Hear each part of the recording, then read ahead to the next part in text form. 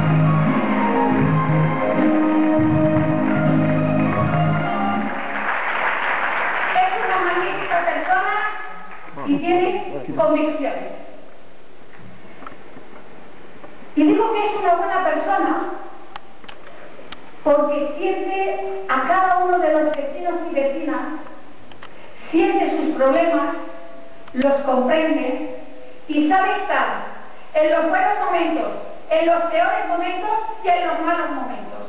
Y eso todo el mundo no es capaz de sentirlo, ni de vivirlo, ni comprometerse con los ciudadanos y ciudadanas de Novelda. Mariano,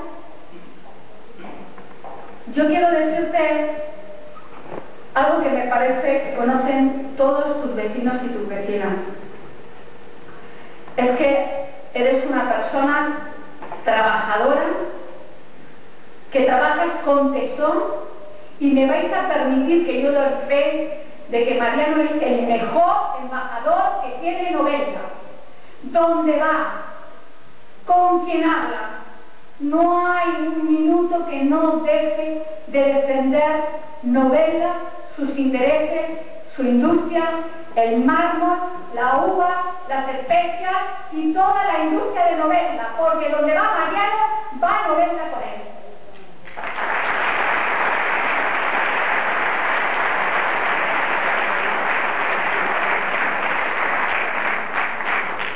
Mariano es de esas personas que está en hacer la política a pie de calle.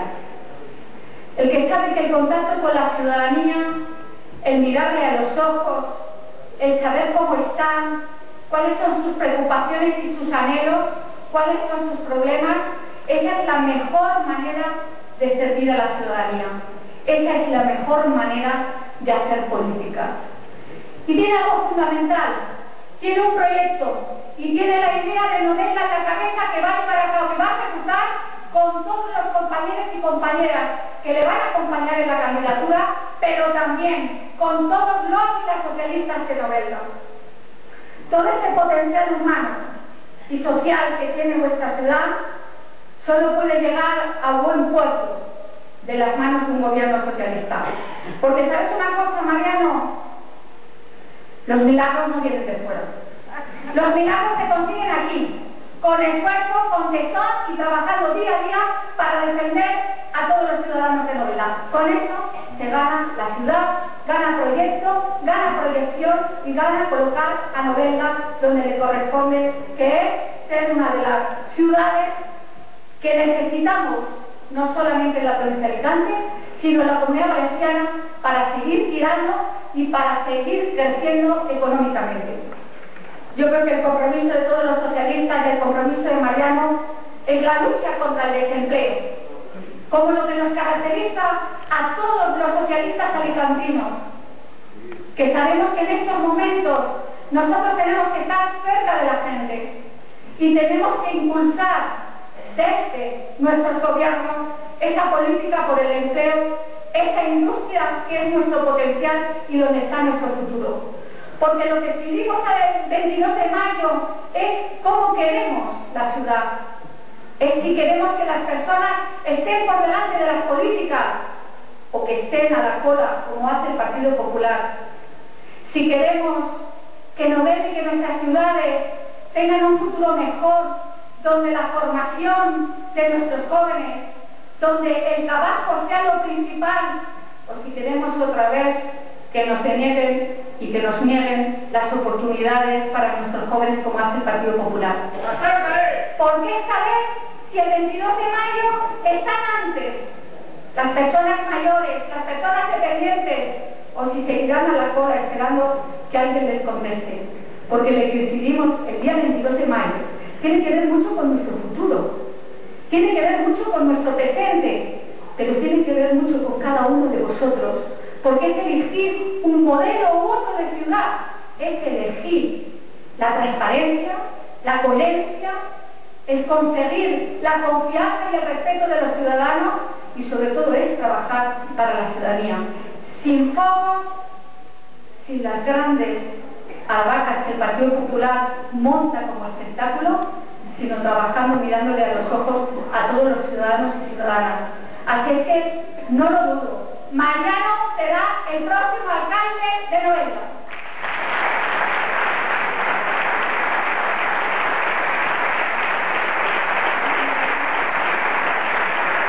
Mariano, tienes a los compañeros, tienes la candidatura, tienes a los socialistas no pero quiero que sepas que tienes a todos los socialistas de la provincia de Alicante contigo y con Novella, porque vamos a hacer y vamos a seguir construyendo esta ciudad.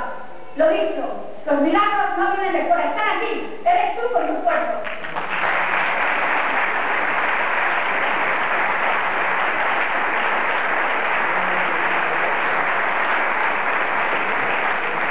Y ahora os dejo con el compañero Ángel Luna con la persona que más está defendiendo los intereses de cada uno de nosotros, con la persona que lleva las ideas socialistas en el corazón, pero que tiene la fuerza y el tesón de defenderlo sin temer absolutamente nada, porque sus convicciones están por encima inclusive del Partido Socialista.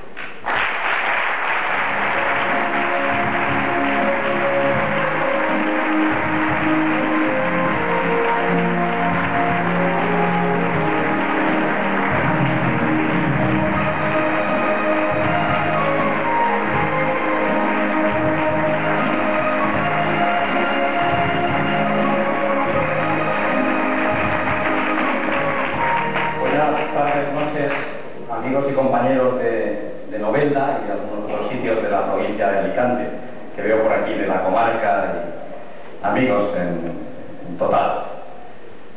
Bueno, yo no, eh, no creo que tengamos que hacer demasiado esfuerzo por explicar lo que tenemos que explicar, que es relativamente sencillo. Mirad, el Partido Popular va a intentar en estas elecciones confundir a los ciudadanos. El Partido Popular va a intentar en estas elecciones hacer pensar a la gente, hacer creer a la gente que se trata de decidir si Zapatero se queda o Zapatero se marcha. Y no es eso lo que vamos a decidir en estas elecciones. Nosotros no tenemos ningún problema en debatir con ellos y con quien sea sobre lo que ha hecho el gobierno de Zapatero. Porque estamos en la provincia de Alicante y sabemos quién está haciendo el AVE después de que lo hayan prometido durante mucho tiempo y no lo hicieran. Sabemos quién ha hecho la ampliación del aeropuerto después de que lo hubieran prometido durante mucho tiempo y no lo hicieran. Sabemos quién está haciendo la autovía central para conectar Alicante con Valencia por el interior gratis, cuando otros tendrían que haberlo hecho hace mucho tiempo y no lo hicieron. Por tanto, sería muy sencillo hacer un debate sobre la política del Zapatero. Pero no es eso lo que toca. Están intentando ocultar el único debate que hay que hacer en estas elecciones. El si el alcalde de vuestro pueblo lo ha hecho bien o lo ha hecho mal. Y si el presidente Camps lo ha hecho bien o lo ha hecho mal. Porque mientras hablamos de Zapatero, no hablamos de Camps. Y de, que de quien hay que hablar es de Camps. Tenemos un gobierno autónomo que tiene 3 billones con B de las antiguas pesetas de presupuesto. 18.000 millones de euros actuales. Y sin embargo parece que no tengan responsabilidad en nada. Que nada sea culpa suya. Cada vez que hay un problema dicen es que como Zapatero no nos da dinero, es que como Zapatero nos quita, es que como no nos da, están engañando permanentemente a los ciudadanos y quieren seguir haciéndolo en esta campaña electoral. Y nosotros no debemos consentirlo como os he dicho. Mirad, aprovecha la situación de crisis que hay en el mundo, que nos golpea a todos, desde arriba hasta abajo, para querer echarle la culpa de la crisis mundial a Zapatero. Pero yo planteo un debate muy sencillo. En crisis estamos todos. Estamos viendo lo que pasa estos días con Portugal. En crisis está también toda España. Pero dentro de España, y siendo exactamente igual la política de Zapatero en Asturias en Andalucía, en la comunidad valenciana que en Madrid, vamos a comparar lo que está pasando en unas regiones y lo que está pasando en otras. Hoy los periódicos de la provincia de Alicante, los periódicos de Valencia, los periódicos de Madrid, publicaban los datos de crecimiento económico del último año. Es verdad que en España, en el año 2010, la economía decreció una décima en España, en la media de España, pero en la comunidad valenciana decreció seis, seis décimas, seis veces más. ¿De quién es responsabilidad eso? ¿Es de Zapatero o es de Camps? Desde el año 2003 al año 2010, que lleva gobernando el señor Camps, en España se han creado, se han afiliado a la seguridad social un millón de personas más. En la comunidad valenciana esa afiliación a la seguridad social ha caído en 40.000 personas. Mientras en España crece un millón, aquí hemos perdido 40.000 afiliados a la seguridad social. ¿De quién es responsabilidad eso? ¿De Zapatero o de Camps? Evidentemente de Camps. Y es que nuestra economía no va bien. Y no va bien porque han hecho un gobierno aquí en la comunidad valenciana no para preocuparse de los intereses y las necesidades de los valencianos, sino para hacer un tipo de política económica que les permitiera a ellos hacer los negocios que han estado haciendo durante todo este tiempo. Decían los compañeros que a mí me persiguen por pedir explicaciones. Y tienen razón. Llevo, yo que soy el portavoz del grupo, pidiendo explicaciones años sobre qué han hecho con el dinero público, qué han hecho con el dinero de los valencianos, qué han hecho con el dinero que reciben del gobierno de España.